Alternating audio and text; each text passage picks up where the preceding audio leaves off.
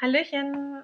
Ich habe die Neuzugänge aus dem März bzw. April für euch und äh, möchte euch einmal zeigen. Es ist sogar schon eins davon gelesen. Dieses kleine Büchlein ist eingezogen, denn ich habe entdeckt, es gibt ein neues Buch von Matt Haig und zwar The Truth Pixie Goes to School. Ich habe schon The Truth Pixie gekauft und gelesen. Ich glaube im letzten Jahr, vermutlich im letzten, also also schon über einen Winter her. Und ähm, ich wusste nicht, dass die Geschichte weitergeht. Ähm, ich, ich wusste echt nicht, dass es da noch mehr davon gibt oder geben soll. Und jetzt gibt es einfach noch mehr davon. Ich liebe den Humor von Matt Haig. Ich liebe die Illustration von Chris Mould. Mag, dass es bei ähm, The Truth Pixie immer ja, so gereimt ist. Noch mehr mag ich. Oh, das muss ich mal ganz eben suchen. Es ist zwar kein Hamster, aber eine Maus. Und die hält eine Klopapierrolle in der Hand. Ich habe das so gefeiert, als ich das gesehen habe und mir dachte, ja, der, der lustigste äh, Hinweis überhaupt. Ich meine, dieses Buch ist schon etwas äh, länger auf dem Markt, also hat jetzt nichts damit zu tun, aber ich finde es so schön, dass es, dass es für mich perfekt passt. Also, ich liebe Matt Haig, ich liebe seine Weihnachtsgeschichten ähm, rund um A Boy Called Christmas, The Girl Who Saved Christmas, Father Christmas and Me sind die ähm, drei Weihnachtsgeschichten von ihm. Ich mag seinen Humor total gerne, gerade auf Englisch.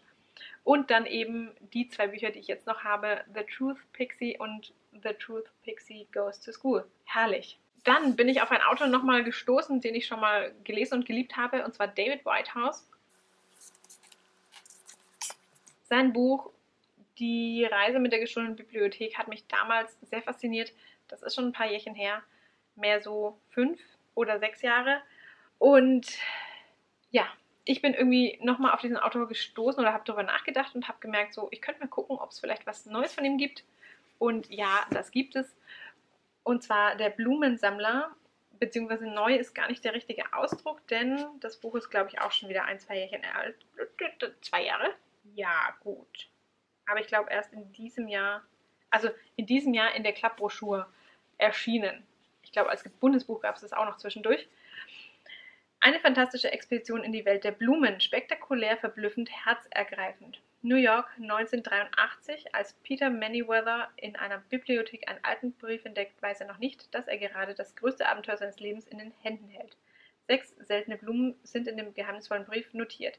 Sechs Blumen, die zu un die so unvergleichlich sind, dass Peter Manyweather für sie um die ganze Welt reisen wird. Also es hat wieder ein Stück weit was mit Reise zu tun. Es ist wieder ein Thema, bei dem ich mir denke, oh cool, irgendwie spannend. Ich bin jetzt nicht der Riesenblumenexperte.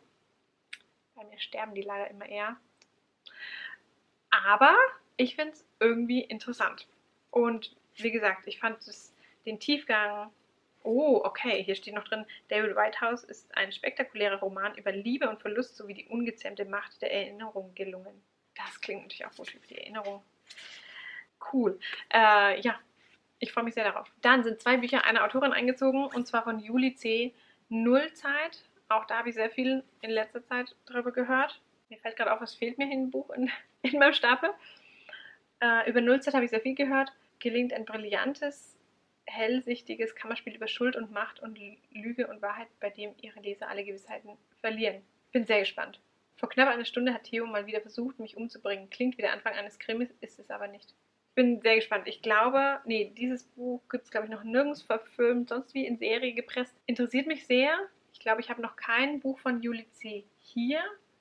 Gelesen habe ich zumindest noch keins, das weiß ich. Und ich habe natürlich nochmal gleich dieses dicke Buch auch von ihm mitbestellt, Unter Leuten. Das hat nämlich auch sehr vielen gefallen. Und dazu gibt es meines Wissens auch eine, ich weiß es nicht, Netflix-Serie oder zumindest irgendeine Serie, meines Wissens. Und da dreht sich alles um ein Dorf. Und mit diesem Dorf stimmt etwas nicht. Auch das, ich bin sehr gespannt. Von Stefanie Stahl, Das Kind in dir muss Heimat finden. Der Schlüssel zur Lösung in Klammern fast aller Probleme. Glückliche Beziehungen durch Urvertrauen. Ich muss gestehen, aus irgendeinem Grund, und ich kann ihn noch nicht näher definieren, hat es mich immer absolut abgestoßen, dieses Buch. Ich, ich weiß wirklich nicht, was es ist. Es gibt selten Bücher, die mir so oft empfohlen werden und die gefühlt, als ob das Schicksal mir die so richtig immer wieder direkt vor die Nase drückt. Ähm, und trotzdem hat es mich nicht angesprochen. Überhaupt nicht.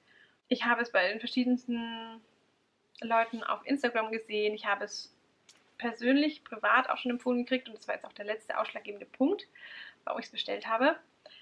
Nämlich von meiner besten Freundin. Die hat gesagt, das solltest du mal lesen. Ich habe es bereits so ein Stück weit angefangen, bin noch nicht so weit gekommen. Ich glaube nämlich, dafür muss ich mir oder möchte ich mir Zeit nehmen und möchte es ganz, ganz genau lesen und nicht so hektisch irgendwie in einem Rutsch. Nachdem ich mich das eben jetzt dann doch getraut habe, kam direkt das andere Buch von ihr auch mit und zwar von Stefanie Stahl. Jeder ist beziehungsfähig, der goldene Weg zwischen Freiheit und Nähe. Vielleicht bin ich darauf noch ein bisschen mehr gespannt, weil es mich immer mehr noch, also in meinem, meiner Welt dreht sich vieles immer mehr noch um Beziehungen und Kommunikation zwischen Menschen. Nicht nur das eigene Innere, aber ich glaube, es ist ganz gut als Voraussetzung, eben ihr anderes Buch zu lesen, das Kind, dem muss Heimat finden und danach das hier. Wie war mein Ausdruck gerade von sinnvollen Büchern? Von Luca Rohleder, Die Liebe empathischer Menschen, die Geradwanderung zwischen wahrer Liebe und seelischen Verletzungen. Auch das geht wieder so ein bisschen in die Richtung wie von Guy, Guy Winch aus meinem Neuzugangsvideo für den Januar. Vielleicht habt ihr es da gesehen, da habe ich zwei Bücher, um, Emotional First Aid und How to Fix a Broken Heart, gekauft. Das geht in eine ähnliche Richtung, allerdings beschäftigt sich der Autor auch noch mit einem anderen Thema, nämlich mit Hochsensibilität. Und darüber geht auch das andere Buch, das ich von ihm bestellt habe, Die Berufung für Hochsensible, die Gratwanderung zwischen Genialität und Zusammenbruch. Ich möchte noch mehr lesen und lernen und entdecken über Hochsensibilität. Ich bin hochsensibel und das ist in Ordnung so. Das ist irgendwo auch schön, so wie es ist. Vielleicht auch, weil ich es nicht anders kenne. Und ich freue mich über dieses ah, Buch. Auf dieses Buch. Ayan Brahm, jeder Lotus hat ein schönes Herz. Und zwar ist es eine praktische Anleitung zur Meditation. Ich habe von dem Autor schon ein Buch, das heißt Die Kuh, die weint. Das sind wohl kleine Geschichten. Hier ist es eben ähm, Meditation. Und auch darüber möchte ich einfach mehr lesen und lernen und entdecken. Denn ich freue mich sehr darüber, ähm, wenn ich selber meditiere und was es mir alles bringt, beziehungsweise was es mir alles genommen hat. Nämlich ganz viel Negatives hat es mir genommen und ähm, dann bleibt ganz viel Positives übrig. Und deswegen freue mich darauf. Bei diesem Buch, muss ich gestehen, wurde ich angefixt und zwar von Jana Klar. Björn Kern, das Beste, was wir tun können, ist nichts.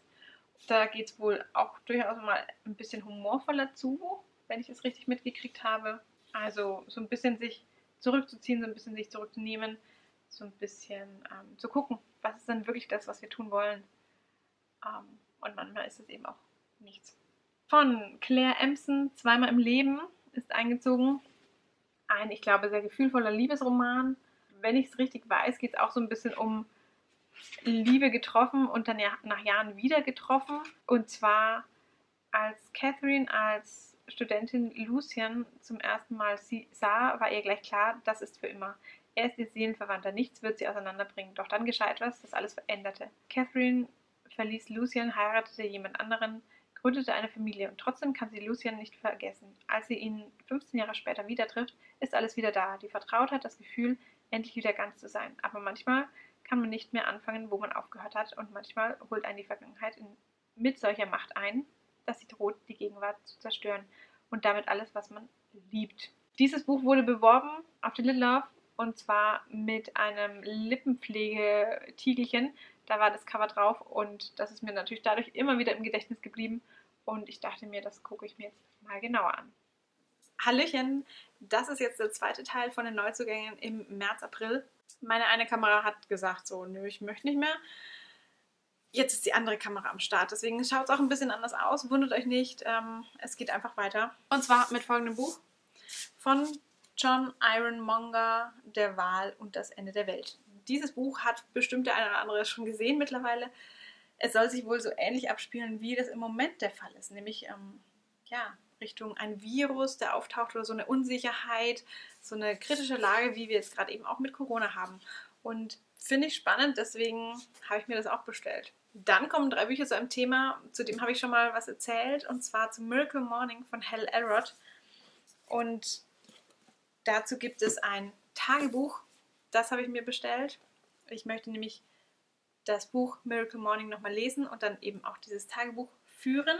Dann gibt es Miracle Mindset, die Wunderformel für unausweichlichen Erfolg von dem Autor eben selbst, von Miracle, ach Quatsch, ja, von Miracle Morning, dem Autor Hal Elrod. Unerschütterlicher Glaube plus unermüdlicher Einsatz ist gleich Wunder.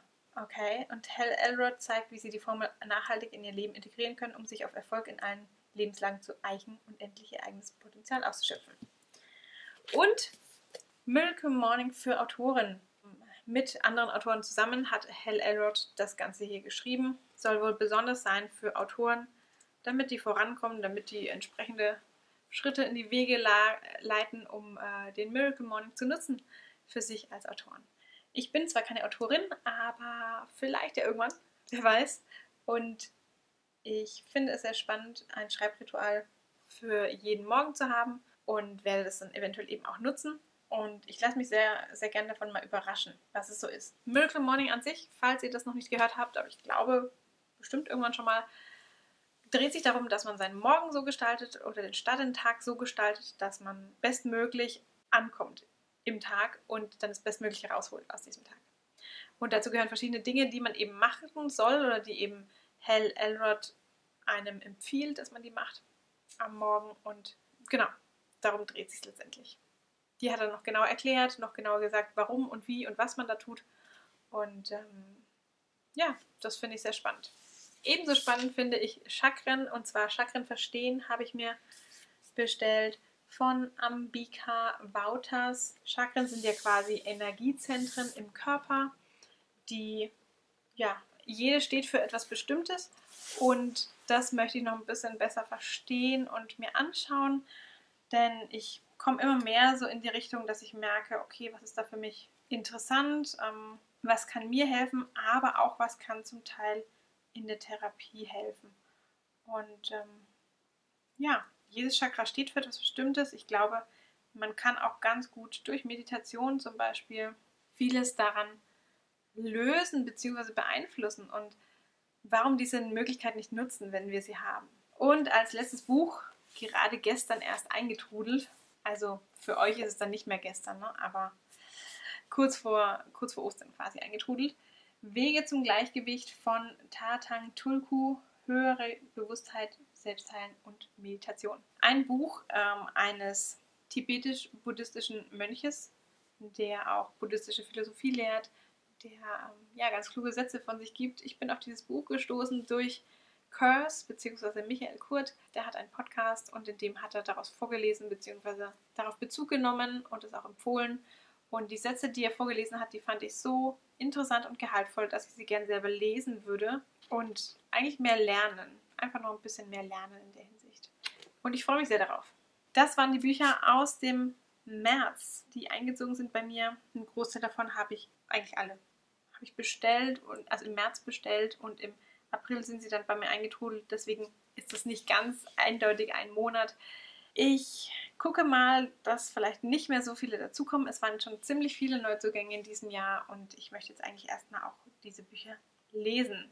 Ich hoffe, ihr hattet auch schöne Neuzugänge bisher in diesem Jahr und könnt vielleicht davon auch gerne pro ähm, berichten in den Kommentaren und profitieren natürlich auch, das wollte ich sagen. Wir haben jetzt gerade eine Zeit, in der wir durchaus ähm, die Buchhandlungen unterstützen können mit unserem, ja, mit unserem, mit unserem Vorlieben, dass wir eben gerne Bücher kaufen, Bücher haben. Und da bestellt doch bitte bei eurer lokalen Buchhandlung oder bei Genial Lokal. Nicht beim großen, großen bösen A. Die machen genug Umsatz. Ähm, die brauchen das nicht. Aber unsere Buchhandlungen brauchen das, damit wir in Zukunft weiterhin dort direkt fort stöbern können. Dann hoffe ich, es war was Spannendes auch für euch dabei ein bisschen bunt gemischt, gar nicht so sehr wie die letzten Neuzugänge, aber doch ein Stück weit. Und ihr lasst mir doch ganz gerne auch einen Kommentar da, dann äh, würde ich mich freuen und komme gerne in Austausch mit euch, was ihr gerade so gerne lest bzw. euch bestellt, worauf ihr gerade Lust habt, äh, auch was zu lesen in dieser doch ganz, ganz neuen Zeit irgendwie und irgendwie auch besonderen Zeit. Dann hoffe ich, sehen wir uns beim nächsten Video auch wieder und ja, lest bis dahin gute Bücher. Tschüss!